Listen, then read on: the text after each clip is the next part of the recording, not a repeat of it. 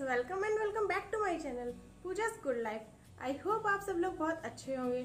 और आज मैं आप लोग के साथ एक ऐसा टॉपिक लेकर आई हूँ, जो बहुत ही इजी आसान तरीके से आपके घर में टाइटल देखकर आप लोग समझ गए होंगे कि मैं आज आप लोगों के साथ एक स्किन केयर से रिलेटेड क्लींजिंग शेयर कर रही हूँ। और अगर हम अपने फेस को अच्छे से क्लीन नहीं करेंगे तो उस पर डर्ट की वजह से ऑयल की वजह से बहुत सारे पिंपल्स और दाने होने लगते हैं।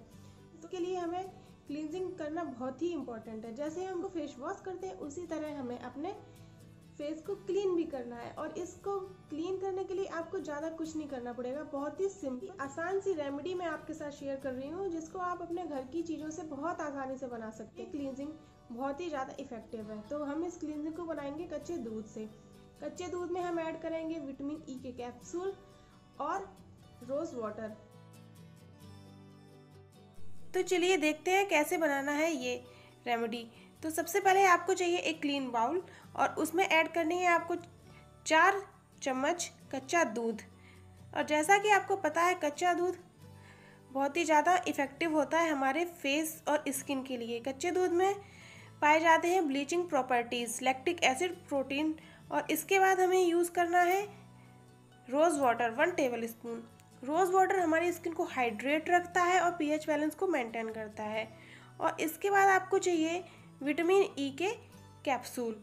और मैं यहाँ पर इवॉन विटामिन ई का कैप्सूल यूज़ कर रही हूँ। ये आपको ईजिली किसी भी मेडिकल स्टोर पे मिल जाएँगे।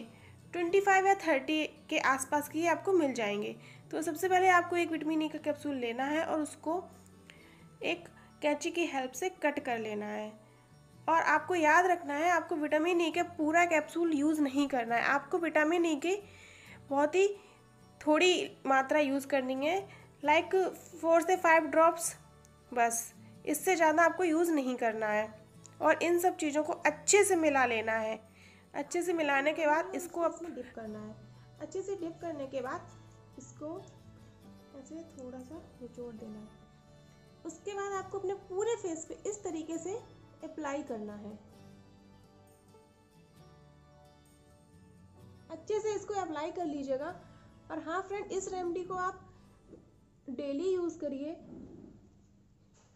मॉर्निंग एंड नाइट अगर आपके पास टाइम कम है तो आप इसको नाइट में तो ज़रूर ही अप्लाई करिए, क्योंकि पूरे दिन की डस्ट और डर्ट और जो भी चीज़ें हम अपने फेस पर अप्लाई करते हैं, उन सबको क्लीन करने में ये बहुत ज़्यादा हेल्प करता है।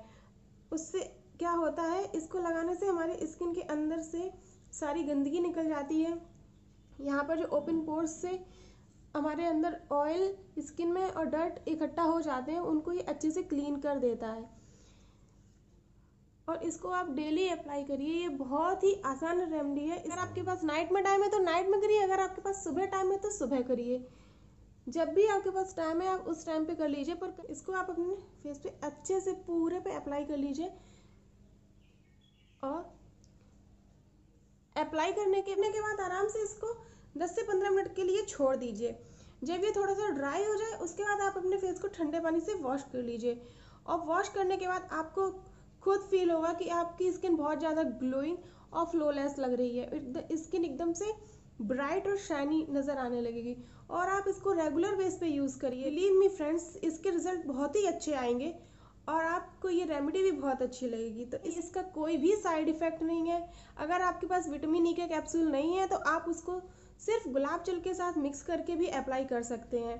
पर ये कच्चा दूध हमारी स्किन को बहुत ज़्यादा इफ़ेक्ट करता है क्योंकि कच्चे कच्चे दूध में होता है लैक्टिक एसिड और ब्लीचिंग प्रॉपर्टीज़ जो जो हमारी स्किन को नेचुरली ब्राइट करता है और शाइन करता है।